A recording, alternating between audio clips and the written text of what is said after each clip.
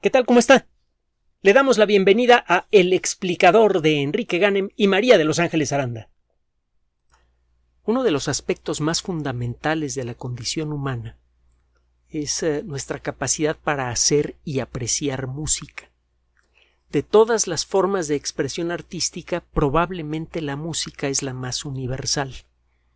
No a todo mundo le gusta la pintura, no a todo mundo le gusta la escultura o la danza, sea clásica o moderna, pero yo todavía no he conocido a una persona que tenga el don de, del oído y que, le, y que no le guste la música en alguna de sus formas.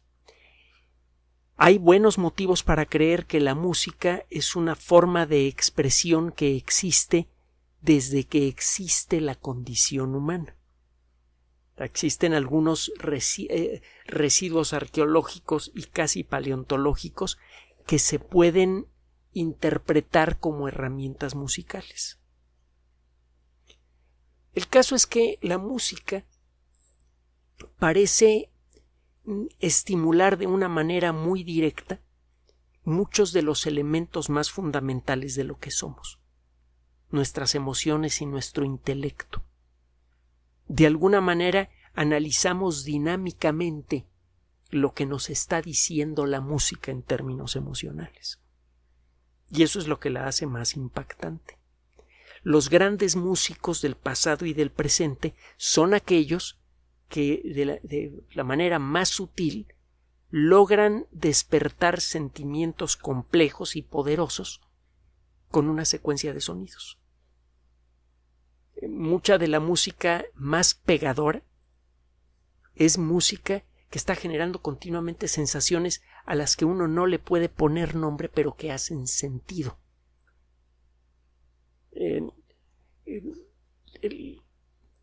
cuando uno habla de música generalmente habla de los sentimientos que la música despierta cuando uno la escucha.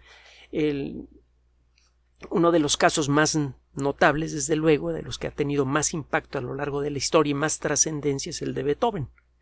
Beethoven no solamente en su época tuvo un éxito enorme, sino que eh, su forma de entender la música tuvo un efecto muy directo y continuo en el desarrollo de la música en el siglo XIX, que fue cuando, cuando él murió, y luego en el siglo XX existe una relación muy directa entre la liberación de la expresión musical y lo que hizo Beethoven en su momento.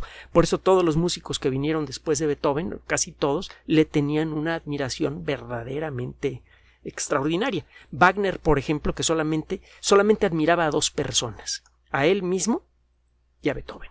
Y no en ese orden. Le tenía un, un aprecio especial a Beethoven. Y es porque Beethoven llegó a desarrollar con gran maestría esta, este poder que tiene la música para juntar al intelecto con la emoción de una manera creativa. Muchas de sus mejores obras que no tienen eh, eh, voces, las sinfonías hasta la octava sinfonía, tienen ese efecto. Si usted escucha el primer movimiento de la novena, de la séptima sinfonía, lo que va a sentir es alegría, fuerza, y no sabe de dónde viene. Pero lo cierto es que cuando eh, empieza usted a escuchar la música y empieza a tratar de seguirla con su mente, utilizando su intelecto, naturalmente aparecen esas emociones. Es claro que la música toca un elemento muy central de lo que somos, intelecto y emoción. Y es por eso que el estudio de, de la música es de gran interés para muchos científicos. A final de cuentas, la ciencia es una forma extrema de hacer realidad, de, seguir ese viejo consejo. Una frase que parece que estaba escrita en el templo de Apolo en Delfos, uno de los sitios más eh, significativos para la cultura griega de la época. No se sabe realmente cuál es su origen, pero ciertamente es un buen consejo. Conócete a ti mismo. La ciencia, entre otras cosas, es una forma de entendernos a un nivel muy profundo y además verificable. Y eh, es por esto que de manera natural muchos investigadores en el mundo de las neurociencias, por ejemplo, en el mundo de la computación y de otras disciplinas, frecuentemente unen fuerzas para tratar de entender por qué la música nos es tan estimable a todos los humanos. Recientemente fue publicado un trabajo por investigadores del Instituto Tecnológico de Massachusetts en la revista Current Biology, que hemos mencionado en muchas otras ocasiones, y que traducimos al, español como Biología Actual. Este grupo de investigación, que que reside en una de las instituciones de mayor prestigio en lo que investigación tecnológica eh, y de ciencia básica se refiere, el MIT, se puso a estudiar en el primero en el 2015 el cerebro de muchos participantes que escuchaban una colección de 165 sonidos diferentes, incluyendo voz hablada, ruidos y música. Para eso utilizaron un dispositivo que no tiene que tocar al cerebro pero permite ver lo que pasa en su interior. Se llama resonancia magnética funcional. La resonancia magnética es un mecanismo, es, un dispositivo, bueno, es un, es un fenómeno que se puede explotar con el aparato apropiado que permite detectar ciertos grupos de moléculas en el cuerpo. Usado apropiadamente, usted puede utilizar este dispositivo para detectar el contorno de grupos de células con una composición similar. Usado de la manera apropiada, el sistema de resonancia magnética permite ver, por ejemplo, el, contorno o el interior del cerebro con gran detalle y tiene la ventaja sobre los rayos X que, uno, la imagen puede tener mucha más calidad, dos, puede detectar estructuras que los rayos X a veces no pueden ver con claridad. Y tres, puede quedarse usted horas completas metido en el aparato de resonancia magnética porque no le va a producir riesgo de cáncer ni de nada. Siempre y cuando tenga tapones en las orejas porque es una máquina muy ruidosa y siempre y cuando usted no tenga claustrofobia porque eh, tiene usted que meter la cabeza en un lugar muy pequeño. Pero por lo demás es perfectamente seguro el sistema de resonancia magnética. Bueno, se colocaron estas personas, a estos voluntarios, en, eh, en esta máquina y se les reprodujeron 165 sonidos diferentes que incluían el ladrido de un perro, el golpeteo de un dedo contra una mesa, música, desde luego, palabra hablada. Y con este sistema, con esta variante del sistema de resonancia magnética, lo que se llama resonancia magnética funcional, pueden ver cómo cambia el flujo de sangre en distintos puntos del cerebro.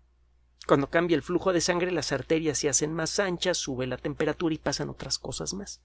Usted puede seguir esos cambios con el sistema de resonancia magnética. Cuando las neuronas se ponen a trabajar, eh, pasan cosas interesantes. no, no, no lo quiero decir. Cuando las neuronas se ponen a trabajar, necesitan más sangre, consumen mucha energía. La energía viene en sustancias químicas que entraron con los alimentos y que van por la sangre. Cuando un grupo de neuronas se pone a trabajar, las arterias cercanas se expanden un poco para llevar más sangre al lugar. Usted puede detectar esto. Entonces sabe qué regiones del cerebro se están activando en momento a momento. Por cierto, eso es lo que nos ha permitido establecer que no usamos el 5% de la capacidad de nuestro cerebro, usamos el 100%. La naturaleza, a la naturaleza no le gustan los desperdicios. Esa necedad de que nada más usamos el 5% de nuestro cerebro y cuando usemos el 100% vamos a poder navegar entre las estrellas solamente pensando, pues, es falso. Ahora, una cosa es que usemos todas las neuronas y otra cosa es la calidad del trabajo que hacemos con ellas. Cuando usted utiliza una computadora para jugar a las cartitas o para calcular la órbita de Saturno, utiliza el 100% de los transistores. Lo que lo que le da calidad al trabajo es la naturaleza del trabajo y no la cantidad de neuronas o de transistores que utilice usted en un momento dado. Pero regresando al tema. El sistema, de resonancia magnética funcional permite entonces ver cómo se, se, ponen a trabajar distintas zonas del cerebro en distintos momentos. Entonces le empiezan a alimentar distintos tipos de sonido a estas personas y se ve que ciertas regiones del cerebro se ponen a trabajar y había diferencias entre las regiones del cerebro, bueno, hay diferencias entre las regiones del cerebro que se ponen a trabajar cuando escucha usted el ladrido de un perro, cuando escucha usted el golpeteo de un dedo contra una mesa, o cuando escucha usted música o palabra hablada. En, esta fue la primera parte del estudio. Empezó a quedar claro que hay ciertas regiones del cerebro que procesan la música. La segunda parte, que es la que están reportando con, eh, en esta ocasión, que es un complemento a lo que hicieron antes, involucra aprovechar circunstancias hospitalarias. Hay un eh, una técnica que se llama electrocorticografía. Usted coloca unos sensores muy delgados debajo del cráneo, casi en contacto con el cerebro, para ver con gran precisión la actividad de distintas regiones del cerebro. Eso es algo que no se puede utilizar en estudios con gente sana. No se vale. Pero la electrocorticografía se utiliza, por ejemplo, para casos avanzados de epilepsia en donde es necesario realizar alguna cirugía. Las personas que van a someterse a este procedimiento se les ponen estos sensores durante pues, una semana más o menos para poder detectar con gran precisión qué regiones del cerebro son las que se portan mal y que están causando los ataques epilépticos para poder corregir el problema tocando la menor cantidad de tejido cerebral posible.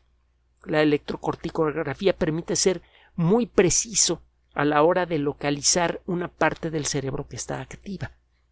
Permite hacer lo que la resonancia magnética funcional, pero con mayor precisión. Entonces lo que hicieron estos investigadores a lo largo de los años es acercarse a las personas que iban a, pasar por, por este procedimiento y decirles, oigan, les importaría voluntariamente participar en nuestro proyecto, es algo completamente eh, eh, seguro. Lo que les pediríamos a ustedes es que pues, les van a implantar estos dispositivos para la cirugía. Les, les pediríamos nada más que escuchen unos ciertos sonidos y, y, que nos permitan registrar los datos para poder hacer. Les explicaron de qué se trataba el estudio.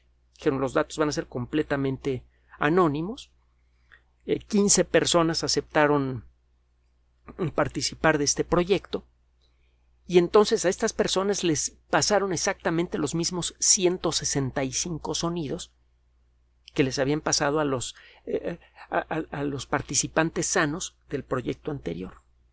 Y lo que pudieron hacer es detectar con más precisión que efectivamente hay una región en, el lóbulo temporal del cerebro, es decir, eh, a, la altura de la 100 que se activa de manera especial cuando escuchamos música.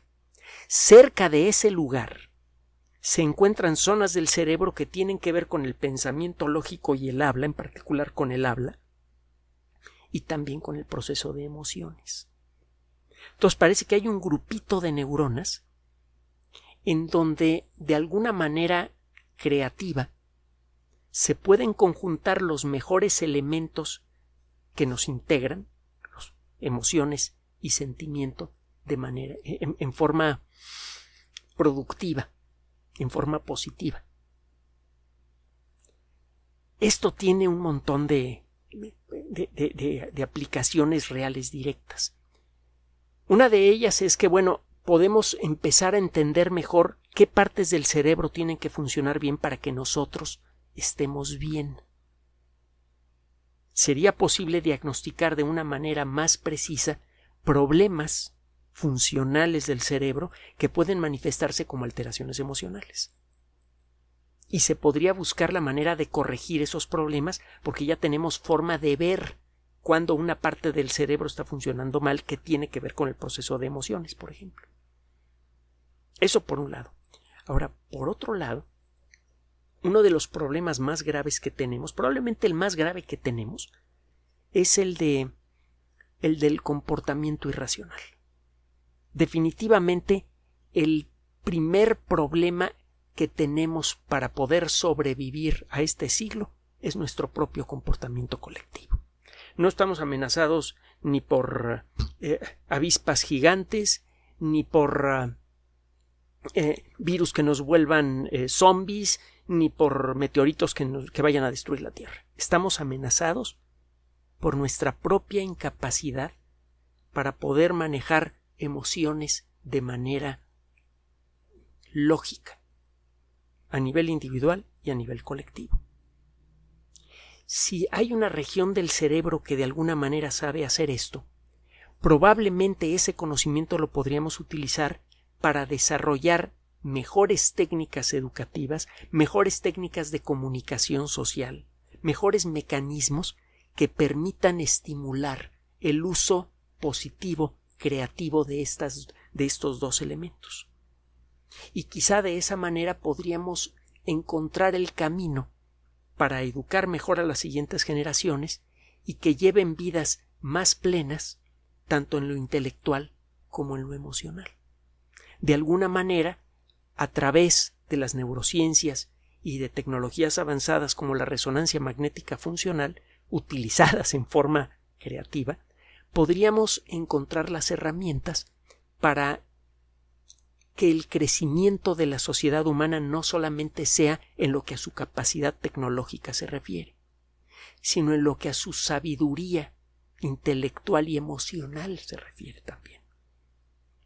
No solamente en el futuro no solamente podríamos seguir adquiriendo más poder, es el que nos otorga la tecnología clásica, sino que con este tipo de trabajos podríamos encontrar la manera de convertirnos en mejores individuos.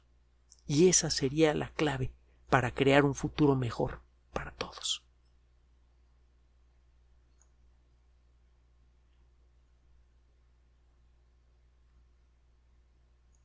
Gracias por su atención. Además de nuestro sitio electrónico www.alexplicador.net, por sugerencia suya tenemos abierto un espacio en Patreon, el explicador Enrique Ganem, y en PayPal, el explicador patrocinio por los que gracias a su apoyo sostenemos este espacio. Puede usted descargar gratuitamente estos audios en formato MP3 en Spotify y en iTunes como El Explicador sitio oficial y en SoundCloud como El Explicador y con formato de video en YouTube en El Explicador sitio oficial. Recuerde nuestras redes sociales de siempre, Twitter Enrique-Ganem y en Facebook Enrique Ganem sitio oficial el explicador y los grupos que usted ya conoce. Finalmente, el explicador siempre somos María de Los Ángeles Aranda y Enrique Ganem. Gracias.